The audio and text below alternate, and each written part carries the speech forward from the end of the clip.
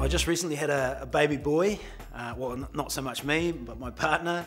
Um, and he's a great little man, but I've been stunned with the capacity for learning.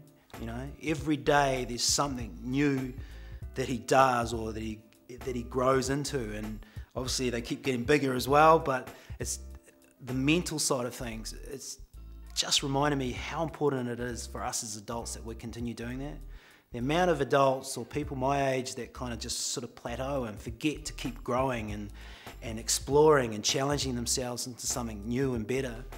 And uh, I think if you can embrace those things, you continue to, to grow as a person.